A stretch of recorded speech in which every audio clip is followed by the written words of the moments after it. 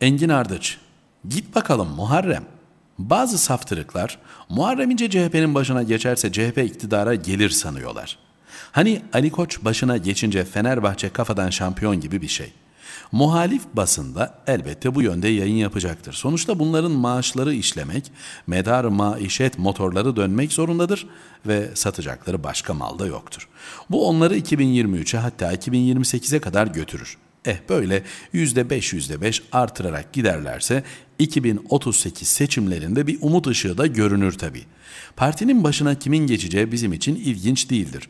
CHP üyesi ve sıradan vatandaş emekli fizik öğretmeni mi, siyasi bozkır tilkisi mi?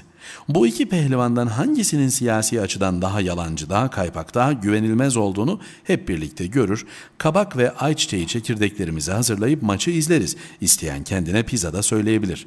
Bizim için daha ilginç olan şudur. İP'nin parti grubu bir süre sonra topyekün CHP'ye mi katılır? Yoksa yuvaya, MHP'ye mi döner yoksa çatlar mı? Sade vatandaş Meral Hanım'a da tavsiyemiz artık uzun süredir ihmal ettiği evinin kadını olmasıdır. Emine Ülker Tarhan'la ahiret kardeşi olsunlar. Biri börek açsın, öteki dolma sarsın. Çay da demlesinler. Birbirlerine oturmaya gitsinler. Altın günü hatta Zekeriya sofrası falan yapsınlar. Eski günleri ansınlar.'' Peki muhalif basının müseccel ve müptezel hokkabazları ne yapacaklar? İlk şoku ve şaşkınlığı atlattıktan sonra kaldıkları yerden devam edecekler. Devlet Bahçeli ağızlarının payını verdi ama onlarda yüz surat mahkeme duvarıdır. İçlerinde Cumhurbaşkanlığı seçiminin ikinci tura kalması kesin gibi diyen manyak da gördük.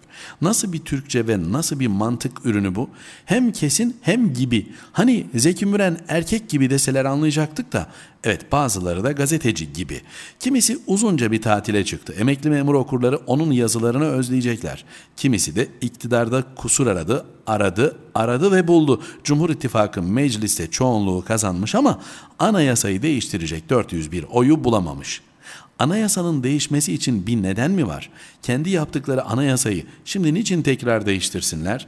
Yumurtla yumurtla salla. Maksat muhalefet olsun. Engin Ardıç, Sabah.